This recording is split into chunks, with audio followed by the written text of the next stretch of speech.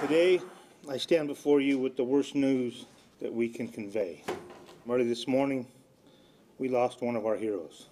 Deputy Brian Ishmael was shot and killed while responding to a call regarding a theft from a marijuana garden at a private residence in Somerset. Upon arrival, Brian immediately came under fire and was shot and killed.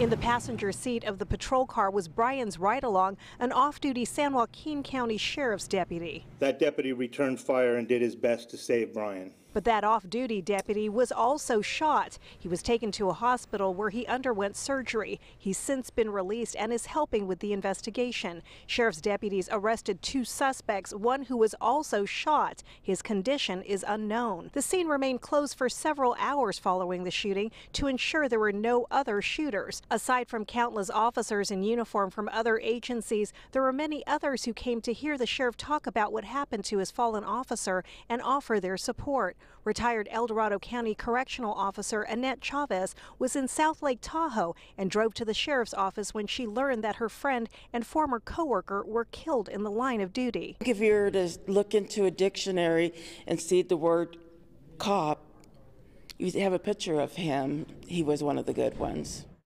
Jim Rents of Pollock Pines is a retired combat vet and part of the STAR program who work closely with deputies. He says no matter the uniform, they're one big family. You betcha. You need people like these deputies that gives their, gives their all out there on the road, and I respect them 100%.